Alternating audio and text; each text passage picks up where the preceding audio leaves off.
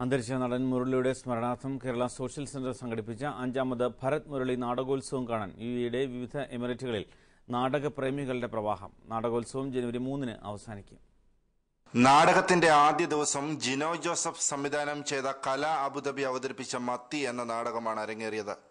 നാടകം കാണാൻ ദിവസവും നിറഞ്ഞ സദസ്സാണ് സോഷ്യൽ സെന്ററിൽ എത്തുന്നത്. ജാനുവരി മൂന്ന് വരെ നീളുന്ന നാടകോത്സവത്തിൽ കേരളത്തിലെ പ്രമുഖ സംവിധായകരുടെ ഒൻപത് നാടകങ്ങൾ മാറ്റുരയ്ക്കും. ജാനുവരി നാലിന് മത്സരഫലവും സമ്മാനദാനവും നടക്കും.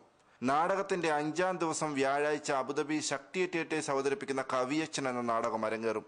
മഹാകവി പി കുഞ്ഞിരാമൻ നായരുടെ ജീവിതത്തിലൂടെ കടന്നുപോകുന്ന ഈ കഥ സംവിധാനം ചെയ്യുന്നത് സാംകുട്ടി പട്ടങ്കരിയാണ്. സിബി കടവിൽ ഏഷ്യാനെറ്റ് ന്യൂസ് അബുദാബി.